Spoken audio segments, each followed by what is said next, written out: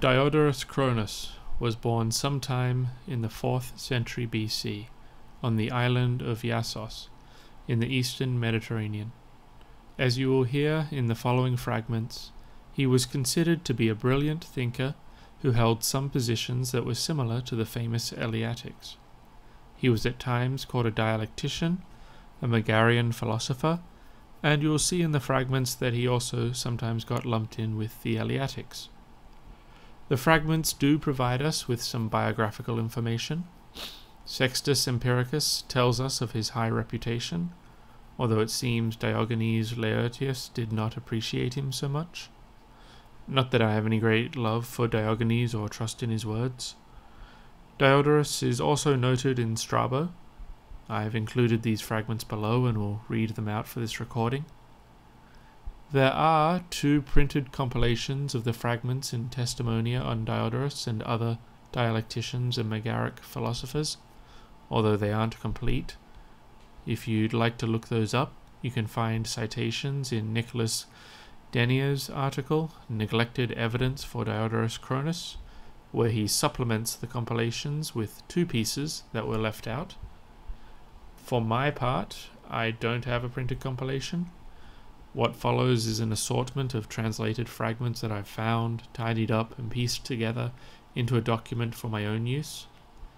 Given that people appreciated my recording of Melissus's fragments in the attached text, I figured I'd do the same for Diodorus Cronus, especially given that his fragments are not so easy to find. I only ask that when reading them, one keeps in mind who the author is, the period they lived in, their access to materials, their intentions, and whether they are quoting verbatim or presenting their own understanding, whether accurate or convenient. As always, the various fragments may be translated different ways, too. If the various positions and puzzles of Diodorus interest you, I'd recommend checking out some of the secondary source material. You may also wish to download the text version. One of the sections from Sextus Empiricus is much longer than I'll read in this recording. Anyway, as usual, this is just one long recording, so let's begin. Strabo. Diodorus the dialectician was a native of this place, the island of Iassos. He was surnamed Cronus. The title was not properly his from the first. It was his master, Apollonius, who, in the first instance, had received the surname of Cronus but it was transferred to Diodorus on account of the want of celebrity in the true Cronus. Sextus Empiricus against those indisciplines. Callimachus in reference to Diodorus Cronus. See there the ravens on the roofs croak. What things are connected? And how will we come to be in future? For Cronus was a superb dialectician, and taught how the sound conditional is to be judged.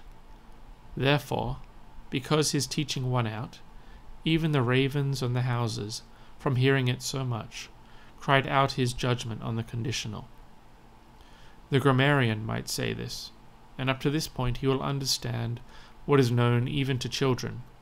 But moving on to, and how will we come to be in future, the grammarian will be silent, he will not find out the thing being indicated. For it falls to the philosopher to say that Diodorus holds that nothing is in motion, for what is in motion is in motion either in the place in which it is, or in the place in which it is not, but neither the first nor the second. Therefore nothing is in motion. And from nothing's being in motion, it follows that nothing perishes. For just as nothing is in motion, because of th- something's being in motion neither in the place in which it is, nor in the place in which it is not. In the same way, since what is alive dies neither in the time in which it is alive, nor in the time in which it is not alive, it never dies. But if so, we will live forever according to him, and will come to be in future. Diogenes Laertius. There are also other pupils of Eubulides, among them Apollonius, surnamed Cronus. He had a pupil Diodorus, the son of Ameinias of Iassos, who was also nicknamed Cronus. Callimachus in his epigrams says of him, Momus himself chalked on the walls, Cronus is wise. He too was a dialectician, and was supposed to have been the first who discovered the arguments, known as the veiled figure and the horned one. When he was staying with Ptolemy Soter, he had certain dialectical questions addressed to him by Stilpo, and, not being able to solve them on the spot, he was reproached by the king, and, among other slights, the nickname Cronus was applied to him by way of derision. He left the banquet, and after writing a pamphlet on the logical problem, ended his days in despondency. Upon him, too, I have written lines. Diodorus Cronus, what sad fate buried you in despair, so that you hastened to the shades below, perplexed by Stilpo's quibbles? You would deserve your name of Cronus better if C and R were gone. Um, I, it means ass if you take the letters away. Next fragment is from Lucian, Sale of Lives Creeds. Note, this is thought to be based on Diodorus Cronus's argument, the veiled one, which we just heard about. The hood in this text is, you know, it's a veil. As to the man in the hood, Okay, first speaker. As to the man in the hood, he will surprise you considerably. Answer me now. Do you know your own father? Second speaker. Yes. First speaker. Well now, if I present to you a man in a hood, shall you know him, huh? Second speaker. Of course not. First speaker. Well, the man in the hood is your father. You don't know the man in the hood, therefore you don't know your father. Second speaker. Why, no, but if I take his hood off, I shall get at the facts. Now tell me, what is the end of your philosophy? What happens when you reach the goal of virtue? Alexander of Aphrodisias. Diodorus claimed that alone is possible, which either is, or at all events will be. On his view, for me to be in Corinth was possible if I was already in Corinth, or if I were at all events going to be there. If I were not to be there, then it was not possible either. And it was possible for a child to become literate if he was at all events going to become so. Diodorus puts forward the master argument in order to establish this principle. Boethius.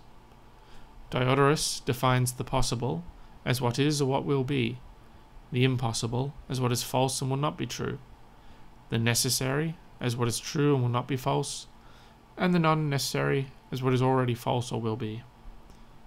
Epictetus discourses. The master argument appears to have been put forth thus. Of the following propositions, any two imply a contradiction with the third. They are these that every past truth is necessary, that an impossibility does not follow a possibility. And third, that a thing is possible which neither is nor will be true. Diodorus, perceiving this contradiction, combined the first two to prove that it's not possible to have a thing that neither is nor will be true. Some again hold the second and third, that an impossibility does not follow a possibility, and that a thing is possible which neither is nor will be true, and consequently they deny that every past truth is necessary. This is the way Cleanthes and his followers took, whom Antipater copiously defends. Others, lastly, maintain the third and first, that every past truth is necessary, and that a thing is possible which neither is nor will be true, thus denying that an impossibility does not follow a possibility. But all these three propositions cannot be at once maintained, because of their mutual contradiction. If anyone should ask me then, which of them I maintain, I answer him that I really cannot tell, but I have heard it related that Diodorus held one opinion about them, the followers of Panthoides, I think, and Cleanthes another, and Chrysippus a third. What then is your opinion? I express none. I was born to examine things as they appear to my own mind, to compare what is said by others, and thence to form some conviction of my own on any topic. Of these things I have merely technical knowledge. Who was the father of Hector, Priam? Who were his brothers, Paris and Deiphobus? Who was his mother, Hecuba? This I have heard related. From whom? Homer. But I believe Hellanicus and other authors have written on the same subject. And what better account have I of the master argument? But if I were vain enough, I might, especially at some entertainment, astonish all the company by an enumeration of authors relating to it. Chrysippus has written wonderfully in his first book of possibilities. Cleanthes and Archedemus have each written separately on the subject. Antipater too has written, not only in his treatise of possibilities, but especially in a discourse on the master argument. Have you not read the work? No. Read it then. And what good will it do him? He will be more trifling and impertinent than he is already. For what else have you gained by reading it? What conviction have you formed upon this subject? But you tell us of Helen and Priam and the Isle of Calypso, something which never was, nor ever will be. And in these matters, indeed, it is of no great consequence if you retain the story without forming any principle of your own. But it is our misfortune to do so, much more, in morality, than upon such subjects as these.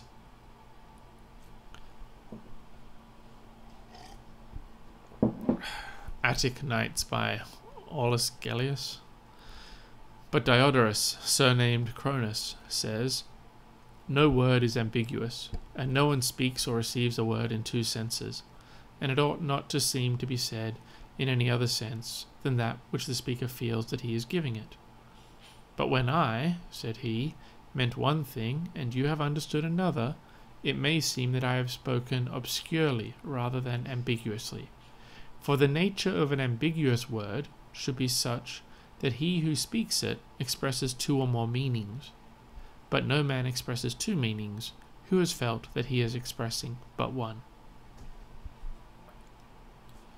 Sextus Empiricus Outlines of Pyrrhonism. Moreover, there is also this to be said.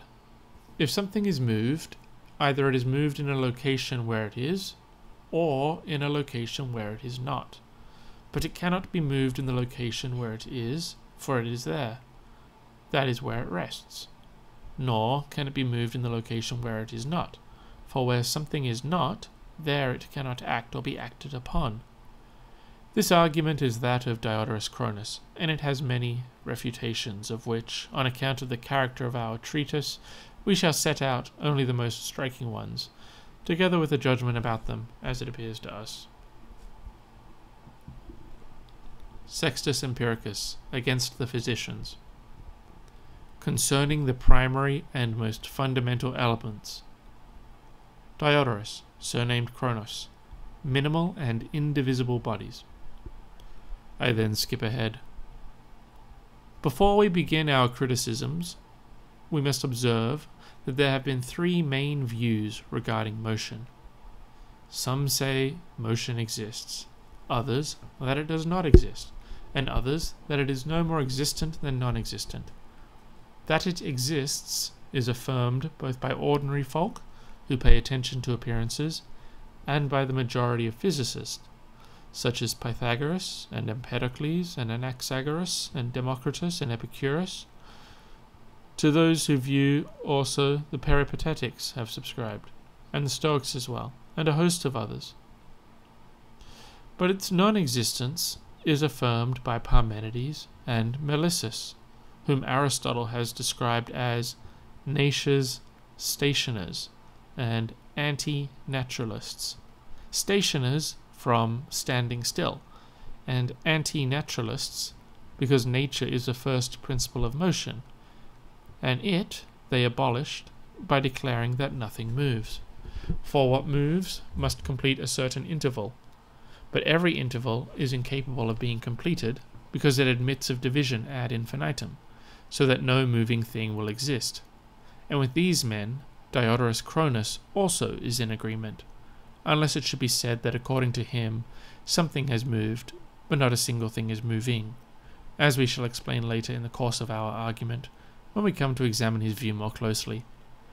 For the present, it is enough to notice this point, that he too is of the same opinion as those who have abolished motion, and that motion is no more existent than non existent, has been stated by the skeptics.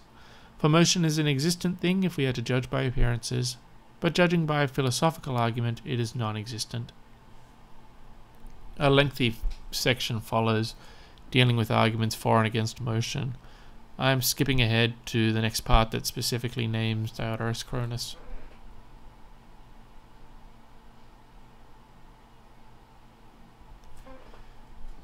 And another weighty argument for the non existence of motion is adduced by Diodorus Cronus. He establishes that not a single thing is in motion, but that it has been moved. The fact that nothing is in motion follows from his assumptions of indivisibles, for the indivisible body must be contained in an indivisible place. Therefore, it must not move in the place it occupies, for it fills it up. A thing that is to move must have a larger place to do so nor does it move within the place in which it is not, for it is not there yet to be moving therein. Consequently, it is not in motion. But according to reason, it has been in motion, for that which was formerly observed in this place is now observed in another place, which would not have occurred if it had not been moved. Thus, this man, in trying to support his own dogma, has admitted what is an absurdity. For how is it other than absurd to say that while nothing moves, something has moved. But the skeptics, being equally in doubt about motion and having been in motion, would not assent to any absurdity, such as Diodorus has admitted.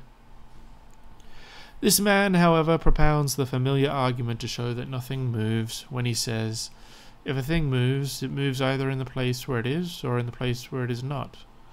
But it moves neither in the place where it is, for it remains therein, nor in that where it is not, for it does not exist therein, therefore nothing moves. Such, then, is his argument, and the method of proving its premises is obvious. For as there are two places, the first being that wherein a thing is, and the second that wherein it is not, and it being impossible to conceive a third place in addition to these two, the thing in motion, if it really moves, must move in one of these places for it will not move in an inconceivable place.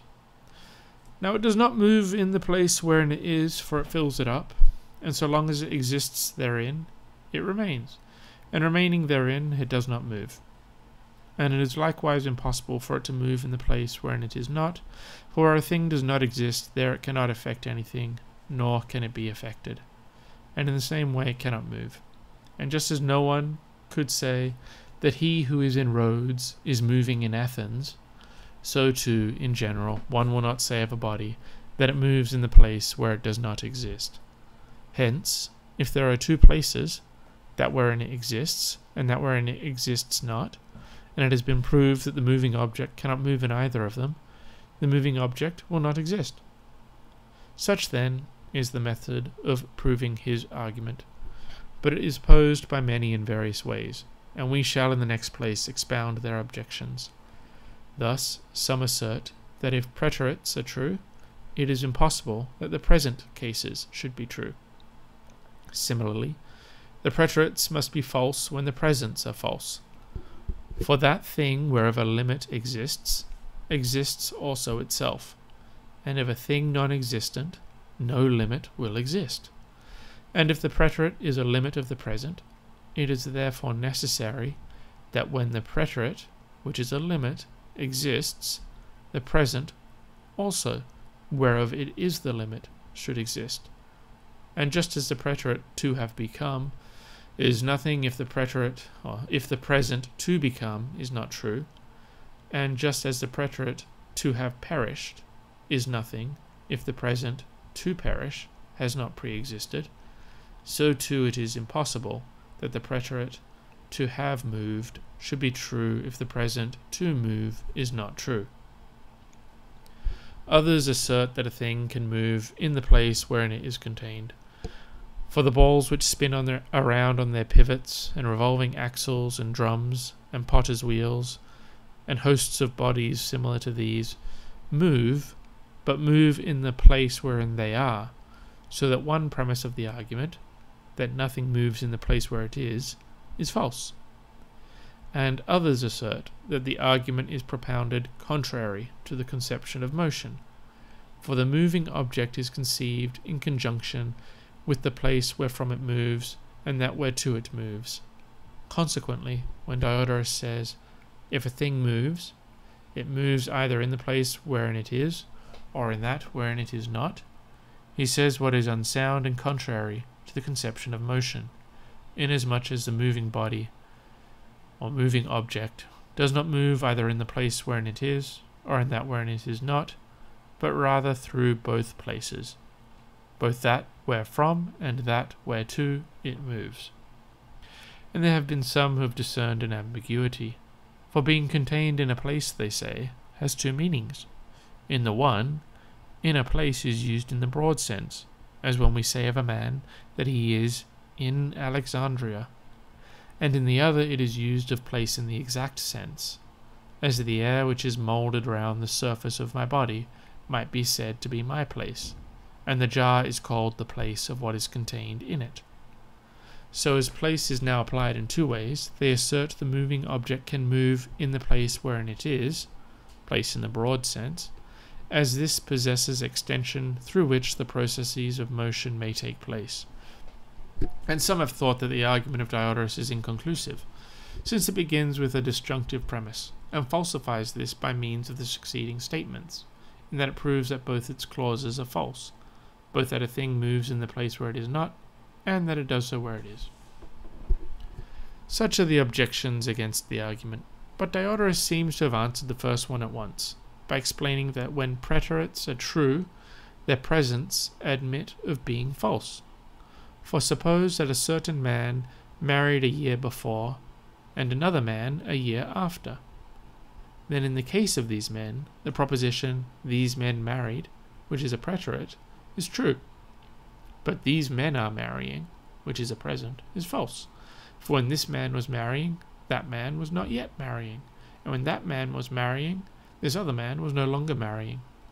And in their case, the proposition, these men are marrying, would have been true of them only if they had been marrying simultaneously. It is possible, then, for the present to be false when the preterite is true. Of the same sort, too, is the proposition, Helen had three husbands.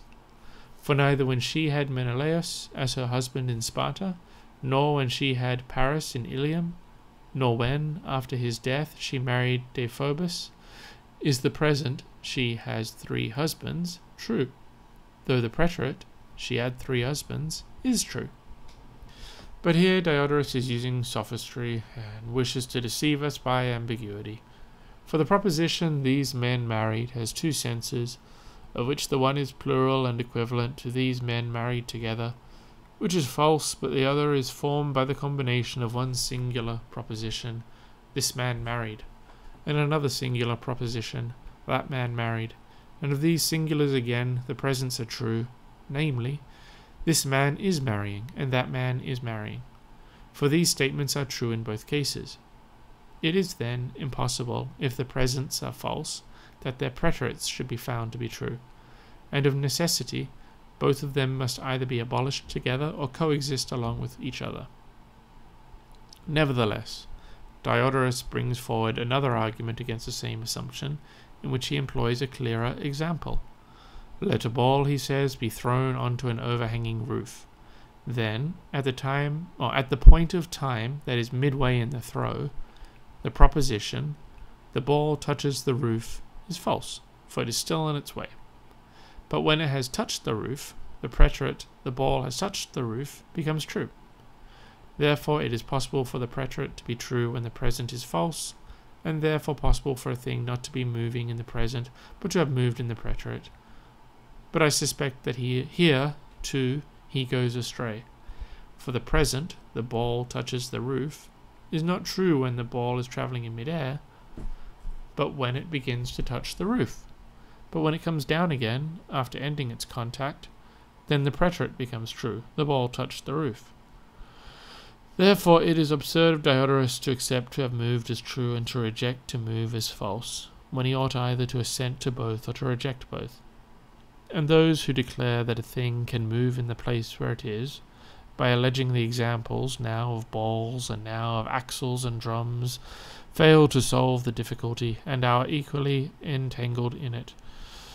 For as we have shown previously, each of these bodies remains in the same place as a whole, but in respect to its parts it changes places, the part above occupying instead the place below, and the part below the place above. And if so, the difficulty remains. For each part of these bodies moves either in the place where it is, or in that where it is not. But it moves neither in the place where it is, as we have established, nor in that where it is not, as we have proved. Therefore, it doesn't move. But in the next place, some have asserted that the argument thus brought forward is contrary to the conception of a moving object. For a moving object is conceived as occupying two places, both that wherefrom it moves and that into which it passes. But in answers, or in answer to these two, it is easy to say that, even if it is the fact that the motion the notion of the moving object is of this kind, it has no bearing on our problem, because the question now before the doubters is chiefly concerned not with the conception of motion, but with its real existence. And about this, those who make that sort of objection have said nothing. And moreover, even if we overthrow the argument, they will have nothing to say against us. For when they assert that the moving object occupies two places, both that wherein it is and that to which it moves, we shall ask them, When does the moving object pass over from the place wherein it is to the other place? Is it when it is in the first place, or when it is in the second? But when it is in the first place, it does not pass over into the other, for it is still in the first. And when it is not in this, but in the second, once again, it is not passing over, but has already passed over. For it is a thing impossible and inconceivable that anything should pass over from that place wherein it does not exist. So that, even if we have this sort of conception of the moving object, the original difficulty remains nonetheless. Further, those who say that the term place has two senses, the broad sense and the exact, and that therefore motion can occur in a place when conceived as broad, are giving an answer that is not to the purpose. For place conceived as exact precedes place conceived as broad, and it is impossible for anything to move in broad place if it has not moved before in exact place. For as the latter serves to contain the moving body, so the broad place contains, along with the moving body, the exact place as well. As then no one can move over a distance of a stade without first having moved over a distance of a cubit, so it is impossible to move over broad place without moving over exact place.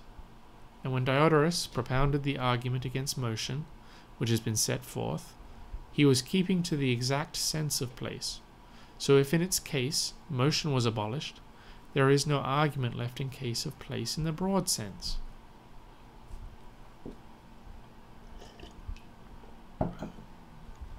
Now, it's perfectly foolish to say that the argument is unsound because of its beginning with a disjunctive premise and asserting the falsity of its premise. For the steps in the argument are in logical sequence, and the force they have is this. If a thing moves, it must move in one or other of the ways stated above. But the second clause is not true, therefore the first is not true. For if the second is true when the first is true, when the second is not true, the first will not be true either, and this is sound according to the assumptions of the dialecticians themselves. These observations, then, it was necessary to make in order.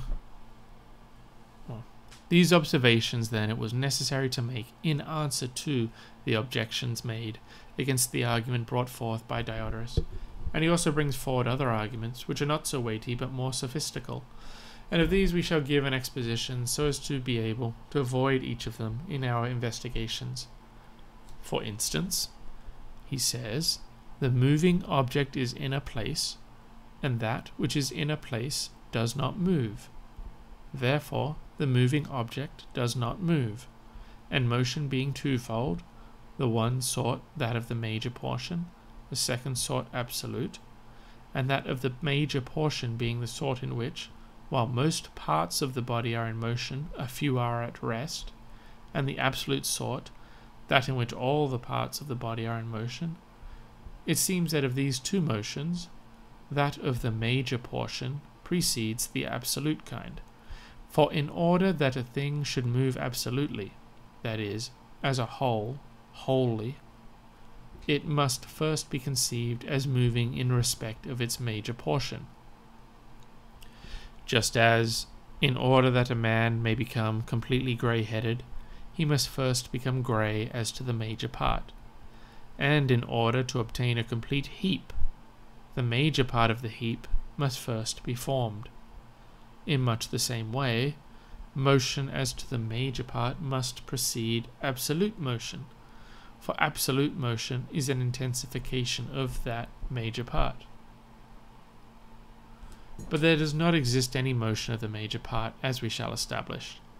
Neither, then, will absolute motion exist. For let us assume the existence of a body composed of three indivisible parts, two being in motion and one motionless. For this is what motion of the major part demands. If, then, we were to add to this body a fourth indivisible, which is motionless, there will again be motion.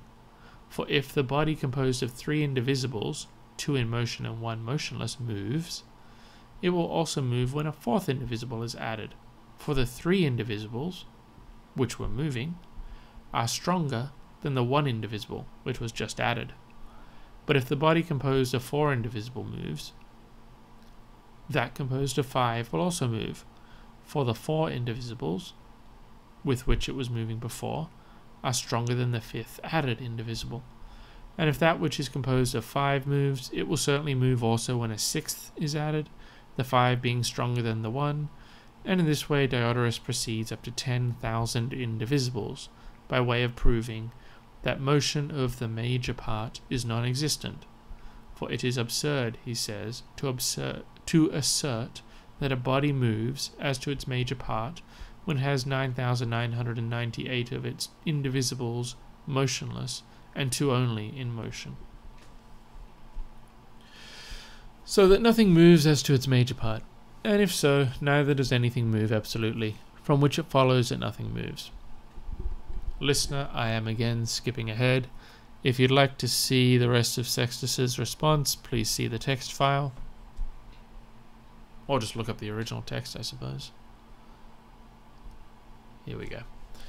Those who, like Epicurus, have assumed that all things are reducible to indivisibles involve themselves in more formidable difficulties, such as, firstly, the fact that motion will not exist, as Diodorus showed when treating of indivisible places and bodies.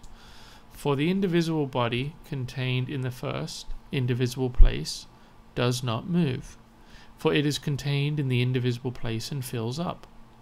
And again, the body situated in the second place does not move, for it has moved already. But if the moving object neither moves in the first place, inasmuch as it exists in the first, nor yet in the second, and besides these no third place is conceived, then that which is said to move does not move, and even apart from this sort of difficulty, it is possible to attack the position of the Epicureans by means of a hypothetical case. I skip ahead once more and we'll leave it to you whether you wish to read Sextus's hypothetical case.